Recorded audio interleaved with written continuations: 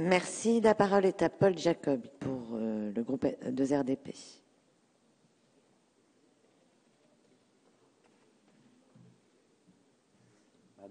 Madame la, Présidente, Monsieur le Ministre, chers et nombreux collègues,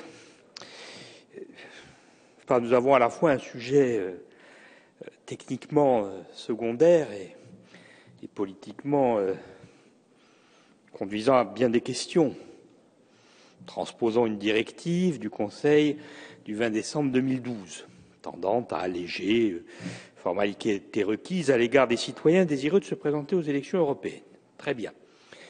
Une simplification de bonne loi, on demande une déclaration et une vérification parfait. Alors effectivement, un citoyen européen peut se présenter dans un autre pays que le sien. C'est possible, ça s'est vu, ça se voit encore, mais enfin, quelle comparaison faire? C'est un peu comme les poissons volants. Ça existe, mais ce n'est pas la loi de l'espèce. Il n'y en a quand même pas beaucoup.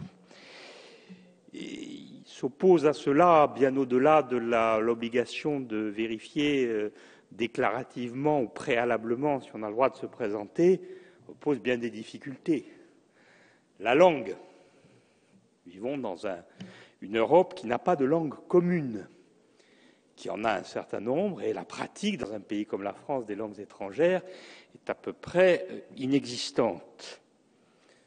Il s'y oppose aussi les habitudes, l'absence de conscience citoyenne et politique au niveau européen, le fait qu'il n'y a pas véritablement de, de, parti commun, même s'il y a un peu partout la gauche, la droite, un peu partout aussi l'extrême droite, d'ailleurs par les temps qui courent, et les extrêmes qui fleurissent, mais enfin, les passerelles ne sont pas évidentes. Chacun a ses cas particuliers, euh, chacun a ses situations euh, spécifiques. Alors, je vous dirais que personnellement, étant français, ayant une épouse indienne de nationalité irlandaise, ayant une carte de l'Union indienne de personnes d'origine indienne, me sentant donc un peu multinational dans le droit et dans le fait, euh, étant pratiquant moi-même une langue étrangère, qui est l'anglais, ce n'est pas une situation euh, qui m'effraie que de dire que l'on pourrait se présenter ailleurs.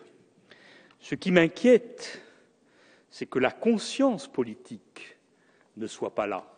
C'est que nous ne soyons pas, malgré nos passeports marqués EU ou UE, Union européenne, des citoyens européens. Pourtant, vu de l'extérieur, vu de loin, vu de l'Inde par exemple, vous savez, euh, vous êtes européen, vous n'êtes pas français ou allemand ou italien, c'est à peu près la même chose. Si en Inde on distingue un peu le point de savoir si vous êtes britannique ou non, ça a une résonance.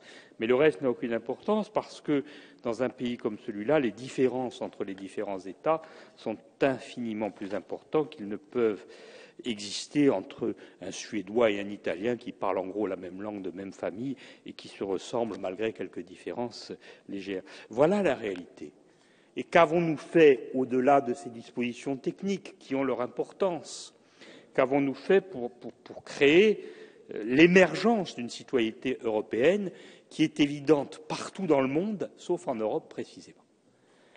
Alors voilà, ce texte constitue un progrès Jusque-là, on ajoutait à l'absence de conscience politique, à l'obstacle linguistique, une complication administrative tout à fait extravagante, puisqu'il s'agissait pour le candidat de démontrer son innocence, en quelque sorte, c'est-à-dire le fait qu'il avait les droits de se présenter à l'élection, plutôt que de le déclarer et éventuellement à d'autres de lui contester euh, cette qualité euh, de candidat potentiel. Nous avons fait donc un tout petit progrès.